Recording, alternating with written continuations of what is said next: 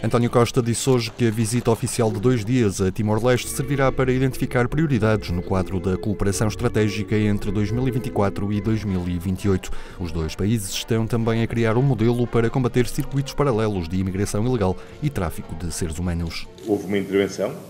relativamente aos timorenses que estavam no território, em território português e, mais importante, eh, entrou eh, precisamente hoje em funções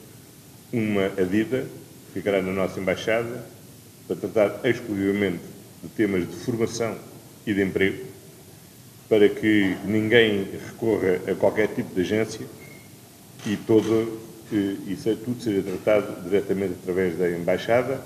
e, portanto, evitando qualquer tipo de circuitos paralelos de imigração ilegal, tráfico de seres humanos e de exploração das, das pessoas. Para o Executivo timorense, esta é também uma oportunidade para continuar a estreitar os laços entre os dois países. Temos a certeza que a amizade sempre demonstrada pelo povo português e pelo governo português será mais uma vez provada na prática no apoio a este jovem país que quer